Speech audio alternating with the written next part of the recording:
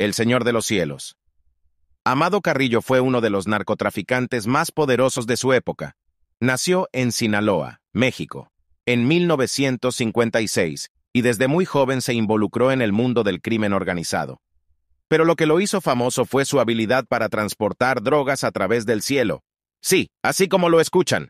Amado Carrillo se convirtió en el pionero del narcotráfico aéreo en México, utilizaba una flota de aviones y pilotos expertos para transportar toneladas de sustancias químicas desde Colombia hasta México y Estados Unidos. Increíble, ¿no? Pero lo más impresionante de todo es que Amado Carrillo logró construir un imperio multimillonario sin levantar sospechas. Era conocido por su apariencia discreta y su estilo de vida modesto. Nadie sospechaba que detrás de ese hombre amable y sencillo se encontraba uno de los mayores capos del narcotráfico. Sin embargo, la historia de Amado Carrillo tuvo un final trágico. En 1997, mientras se sometía a una cirugía plástica para cambiar su apariencia, sufrió complicaciones y falleció.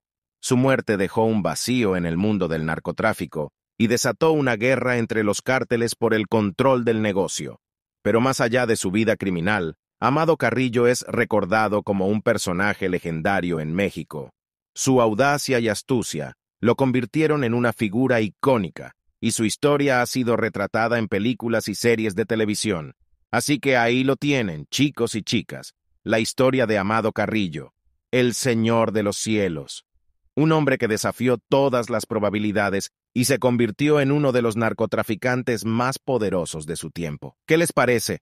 Déjenme sus comentarios y no olviden darle like y suscribirse para más contenido interesante como este. Nos vemos en el próximo video.